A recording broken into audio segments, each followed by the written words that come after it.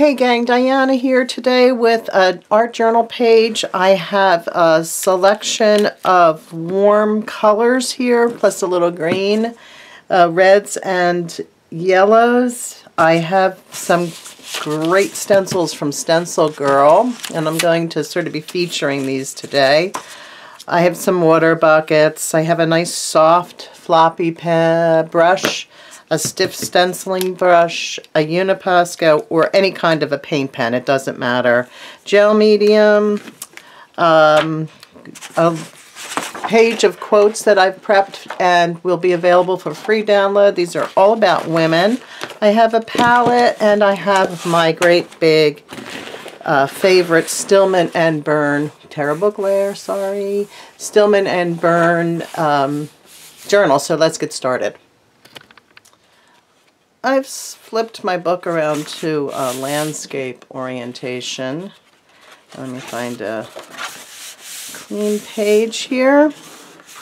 And um, I'll work here on this page. So uh, what you want to do is I have some paints out. These are all the yellows, except for that red. Because that's red. that's for later. Um, just puddle some of your gel or matte medium in here and um, grab your stencil brush. And I also have, I have a rag here. Um, and I have a piece of uh, just bond paper, just cheap paper. Could be a piece of magazine, whatever. Uh, just put that on because this this will create the line between land and sky. And what we're going to do is flip this stencil around so it's not, um, it's a little less sort of, I guess the word is, is static. It's not a head-on straight. It's going to be rotating and creating a nice little um, sort of pattern throughout. So just dipping into that, I'm using the gel medium because it's going to give a slicker, uh, even slicker, I should say even slicker, uh, feel to the page, which will create another surface and we'll be painting on top of that. So just flipping this around, changing up the colors. I've mixed some of these colors together. That's that I think that's the nickel azo, which goes, if you don't have that color, you should have that.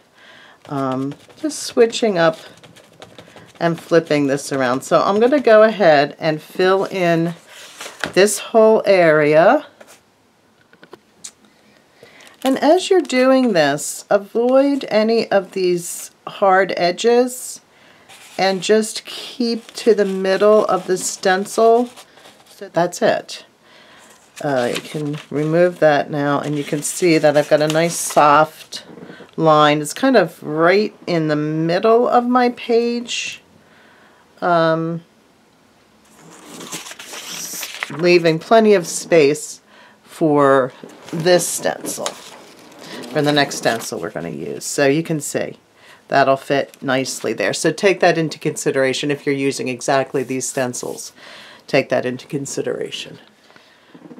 Okay, so now we've I've removed the paper and we're just going to sort of take this. I mean, you could center it, but let's, this, especially since this is sort of centered, let's give a little more pop to the composition and uh, put it down here. I'm tempted, in fact, I'm going to add a bit of tape to this stencil to keep it from shifting too much on me.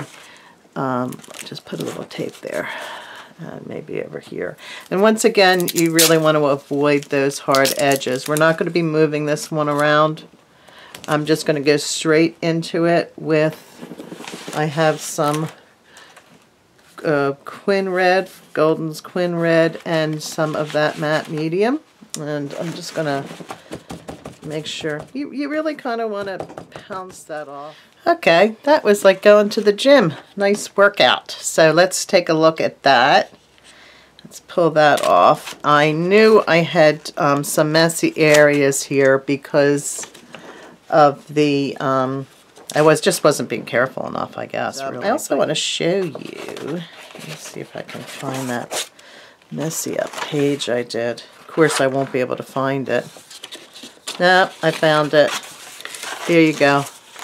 I was practicing earlier and I kind of, um, but I did want to show you something here. Uh, instead of, sometimes instead of um, flipping your stencil over and trying to get stuff off that, and it, it's real nice to clean off your stencil with a baby wipe this way. Uh, either way, I just find that the results are better this way. And plus, of course, my stencil gets cleaned. So if you want to use up that paint, go for it.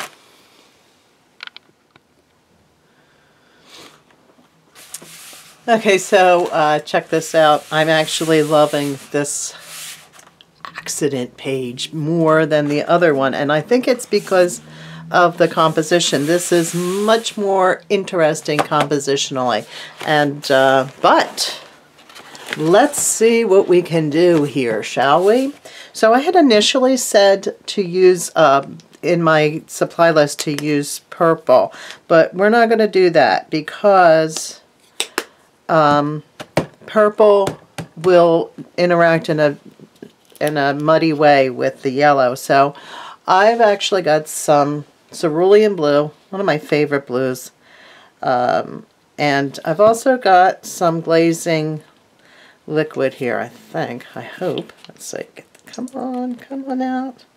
This is what you get for not cleaning off your bottles tops. Okay.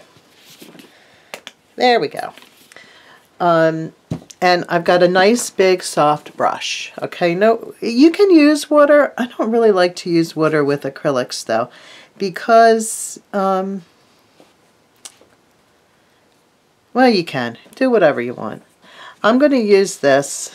I love this glazing medium and I use it all the time and you can see how light that is and how nicely it's going on. I guess I can get rid of that tape.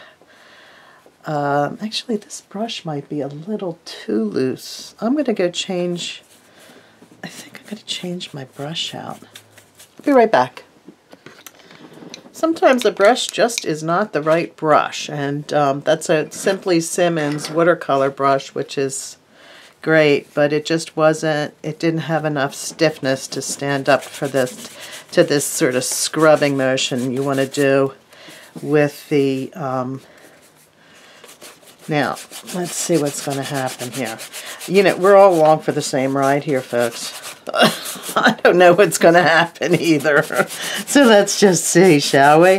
Um, I should get green, and I am getting some very, really nice greens down here. I'm going to add just a little bit of water to get that moving a little better. And, um, you know, I would not use your best brush for this. This is nice. I, I really love the way that the gel medium um, resists the paint. So it's almost like this mosaic thing going on. Okay, so now I'm just going to add a little bit more of, now I close the lid. Uh, yeah, just going to add a little bit more. And I'm going to keep doing this to get this sort of uh, in this case, I want a darker color. Usually in um, landscape, you want a lighter color here. But in this case, I want a darker color here. I want to draw attention to this area. So I'm going to continue doing this. Okay, so um, just a just a quick word. Remember, I am using the Stillman and Birn. It's the Beta 180 pound cold press. If you've got some thinner paper, that's fine. Just uh, gesso it and you'll be able to get uh, these effects. Now I'm just mixing up some really kind of gaudy orange here. and I'm going to stick it right here. And I'll probably, I could actually, see the problem with using orange right now is I have all that blue in the background, so we know what's going to happen, right? Um, it's going to make, make mud. Or it's going to make, uh, uh, what's the word? Oh, come on. I can't talk and paint.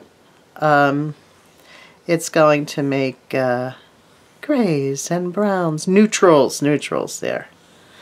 Good grief. Okay, so just try to get that round. If you keep your brush on the paper and spin it, a flat brush, you should get a nice round. And I'm just going to put a little dab of yellow right there. Okay, so this is essentially done. Um, I think I think these um, the doodly bits here would be fabulous. You could you could come in here with the, uh, a marker.